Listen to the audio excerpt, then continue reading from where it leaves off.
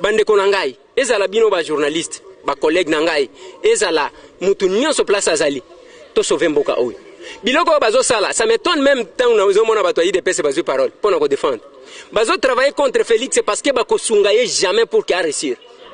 bakosala tout pour que aechoue comme ça na 2023 bakoyela biso soki nani soki nani batieli biso wana babandi talisa bino ke opposition esala eloko moko te yango ozomona bazobeta maboko pamba pamba sinon avec ce qui se passe ici okomona bakoya lisusu na budget meme ya simiara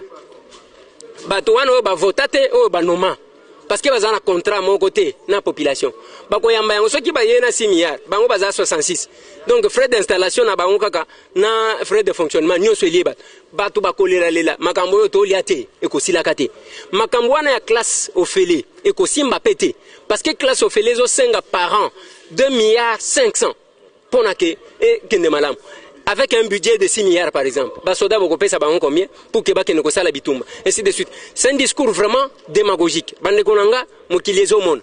peuple congolais nalobaki na bango bokoya kobeta mbunda mpo na nini parce que ya malonga mpo na bino eza te bokoya kobetela bapoliticien kaka bolandaka bango nsima je fais ma part et la part du peuple reste. Attendez, soutenir le chef de l'État, c'est-à-dire quoi C'est l'applaudir aveuglément C'est de lutter parce que tu sais qu'il dit Félix, dénoncer la mauvaise gestion de ces pays Pouvons-nous l'accompagner, la manière dont ils évoluent Est-ce qu'il y aura une différence entre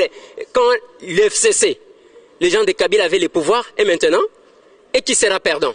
Sur le plan politique d'abord, qui sera perdant Etre un bon collaborateur d'un chef c'est de denoncer le mal. Vaut mieux bazwa opinion bango moko, responsabilite devant peuple bango moko, biso biso to to to accompagner bango te. Eza ba jeu de mots inutile, eza ba jeu de mots ya pamba. La verite eza na deux documents. Document moko ba pesa biso vendredi na document moko bauti kopesa biso tant kaka premier ministre aosisa koloba mbala moko baye babandi kokabola document wana et document wana eza totalement différent na oyo bapesa biso vendredi bango moko nde baza wana bayebi ke on peut mentir à tout le monde mais conscience na bango bayebi ke bakokosa te eza ba jeu na bango ka oyo bazalaki nango banda kala